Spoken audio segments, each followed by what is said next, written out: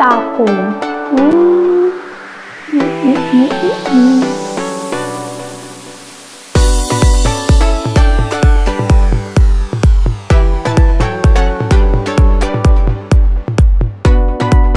Falta de habilidade na culinária, falta de tempo, custo e disponibilidade dos ingredientes.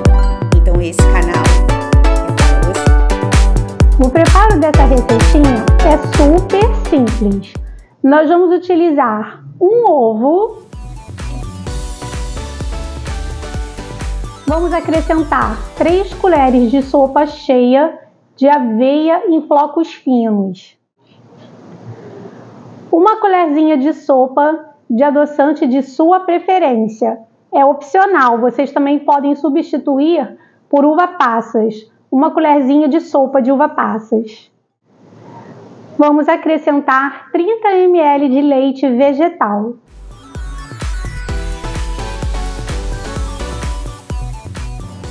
Se você não é inscrito no canal, vai aparecer aqui embaixo um botãozinho escrito inscrever-se. Clica nele para que eu consiga chegar aos meus 5 mil inscritos.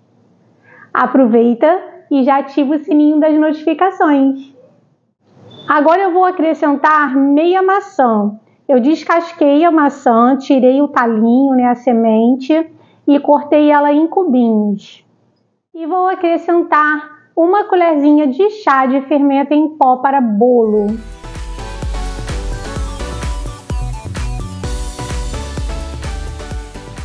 Clica no joinha e deixa o like no vídeo.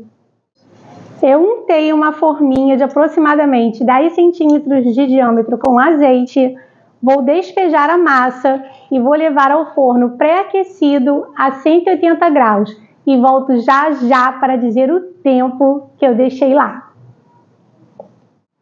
Clique em compartilhar e envie esse vídeo para seus amigos, seus familiares, no grupo do WhatsApp, nas suas redes sociais. Eu tenho certeza que vocês vão amar.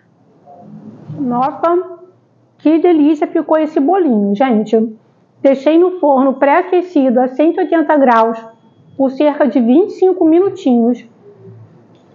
Ficou uma delícia, uma delícia esse bolo. E eu polvilhei aqui por cima canela com demerara, mas é opcional. Nossa, ficou uma delícia. Só façam.